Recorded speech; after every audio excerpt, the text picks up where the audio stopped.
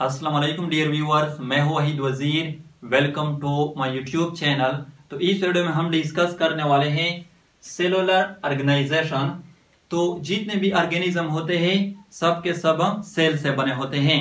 बास organism single cell से बने होते हैं, जिसको हम कहते हैं यूनिसेलुलर ऑर्गेनिज्म और बास ऑर्गेनिज्म मेनी सेल से बने होते हैं, एक से ज़्यादा सेल से बने होते हैं, जिसको हम कहते हैं मल्टी सेलुलर ऑर्गेनिज्म तो फ़र्स्ट वन जो है, वो है यूनिसेलुलर ऑर्गेनाइजेशन सेकंड है कॉलोनियल ऑर्गेनाइजेशन और थर्ड वन है मल्टी सेलुलर ऑर्गेनाइजेशन तो यूनिसेलुलर ऑर्गेनाइजेशन में जो ऑर्गेनिज्म होते हैं, वो यूनिसेलुलर होते हैं.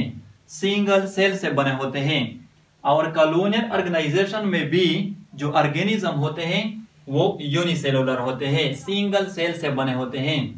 लेकिन कॉलोनियल ऑर्गेनाइजेशन में जो ऑर्गेनिज्म होते हैं, वो सैकड़ों हज़ारों की तादाद में एक दूसरे के साथ कंबाइन हो जाते हैं और एक कॉलोनी जो है, वो बना लेती है। यानी इस तरह एक दूसरे के साथ कंबाइन हो जाते हैं और एक स्फेरिकल कॉलोनी जो है, वो बना लेती है।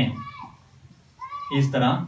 यहाँ पर ये भी नोट कर ले, कॉलोनियल ऑर्गेनाइजेशन में जो ऑर्गेनिज्म होते हैं वो एक दूसरे पर डिपेंडेंट होते हैं, वो इंडिपेंडेंटली नहीं रह सकते। रीजन क्या है? रीजन ये है कि कॉलोनियल ऑर्गेनाइजेशन में बास ऑर्गेनिज्म सिर्फ़ स्पेशलाइज्ड होते हैं मोबिलिटी के लिए, और बास ऑर्गेनिज्म सिर्फ़ स्पेशलाइज्ड होते हैं रिप्रोडक्शन के लिए। इसलिए कॉलोनियल ऑर्गेनाइजेशन में ऑर्गेनिज्म एक दूसरे पर डिपेंडेंट होते हैं। कॉलोनियल ऑर्गेनाइजेशन का जो कॉमन एग्जांपल है, वो है वालवक्सम वालवक्सम यूनिसेलुलर ग्रीन एलजी हैं।